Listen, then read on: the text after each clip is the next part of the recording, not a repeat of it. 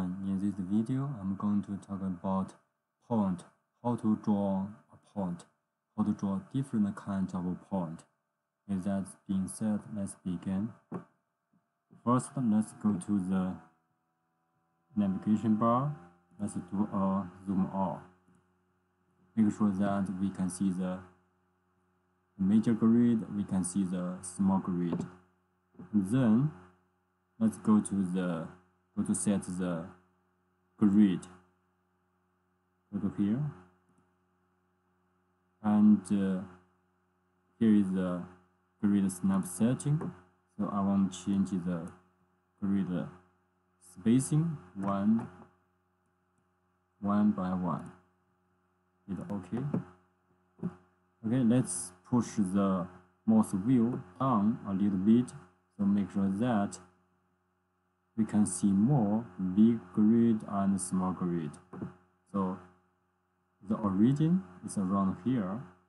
So we are going to use the, the point tool, the point tool to draw the point.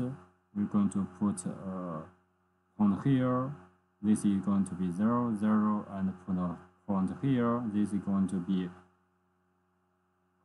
5, 5 you know the minor grid is 1 here is 5 and we're going to put another one here is 10 and another one is 15 we're going to put 0 0 5 5 10 10 15 15 where can we find the home tool we can go to the home tab and draw panel and uh, click the triangle extend the the, this panel, we are going to see here, there are four points. So in AutoCAD 2021, it is a multiple point. We can use it to draw multiple points. We can also simply use the command window type in point. Let's try to do it, point. Okay, it's here. Let's hit enter select this, look at the command window, let's specify a point. First, I want to put a point at origin 0, dot 0 and hit enter. So I want to keep doing so I can do uh, keep keep typing a point command P O N T and hit enter let's put another point. Point is going to be 5 dot 5. Okay, right now we can see it because here is hard to see. Actually, it's there. So if I want keep doing that, I can simply hit space key. So this is going to repeat the same command. Let's put uh, another point here. This one is going to be a 10 10, 10, 10. Okay, let's keep doing, put another one, hit space key on your keyboard, put 15 and 15. Okay, here is a little bit small. And uh, right now I'm going to change the the style of the point and let's type in p type typ so there is a prompt. So let's hit enter activate it. So we look at the point style so I want to select select this one. This is a square. So we can also change the size of the point I want to keep the default right now. It's 5 5% relative to screen height. Okay, let's see what changed.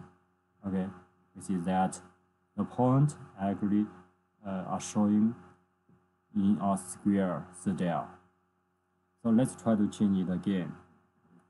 I, I want to type in p type, hit enter, so this time I'm, go I'm going to set the point size in our absolute unit.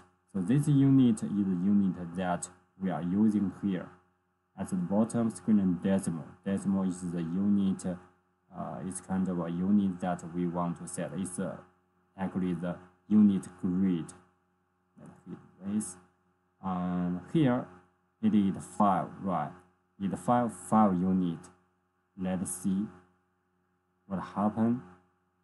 I hit OK. Okay, it's going to be file, right? Here in the file, we notice that this grid size actually the size is exactly the same size as the major grid. So it means that uh, the size is a unit, unit, unit size that we used.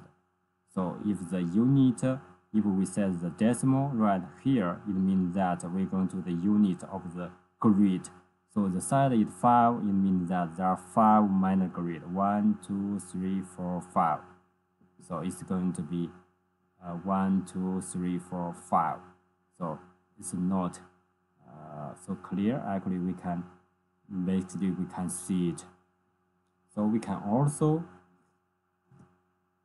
hit hit space key and activate the the point style.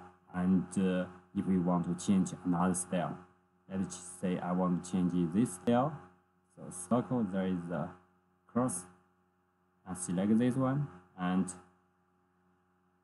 hit OK. If you want to change the size, you, you can change it. Let's say I want to change the size to 2 unit. It's kind of 2 unit means that two small grid. You know, okay? Okay, so now we can exactly see right the diameter of the circle is 2 grid. 2 grid. Okay, that's it. Thank you very much for watching. If you have any question, please feel free to let me know.